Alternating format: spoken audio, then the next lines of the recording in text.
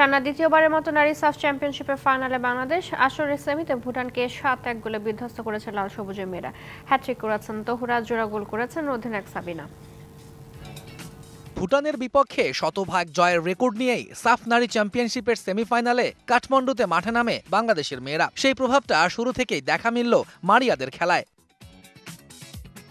ম্যাচের সপ্তম মিনিটে দারুণ গোল করে দলকে লিড এনে দেন ঋতুপর্ণা চাকমা। ঠিক এর আট মিনিট পর দ্বিতীয় গোলটা হজম করতে হয় ভুটানের মেয়েদের। বাংলাদেশের হয়ে স্কোর শিটে নাম তোলেন তহুরা.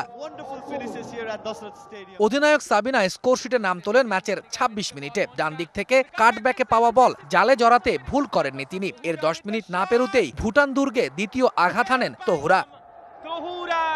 বিশ্বমানের ভিআরএম প্রযুক্তিতে তৈরি দেশের সেরা থার্মিক্স রড আরআইসিএল টিএমএক্স সাঁত্রিশ মিনিটে আবারও সাবিনার দুর্দান্ত ড্রিবলিং গোলরক্ষককে বোকা বানিয়ে ফাঁকা জালে বল পাঠিয়ে স্কোর লাইন পাঁচ শূন্য করেন বাংলাদেশের অধিনায়ক।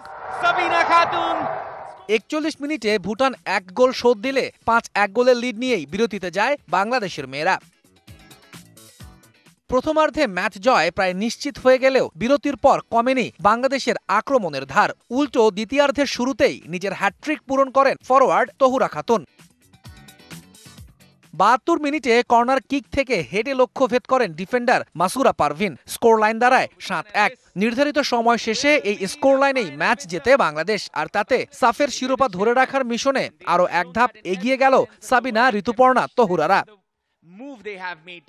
Tauhidul Islam DBC news desk.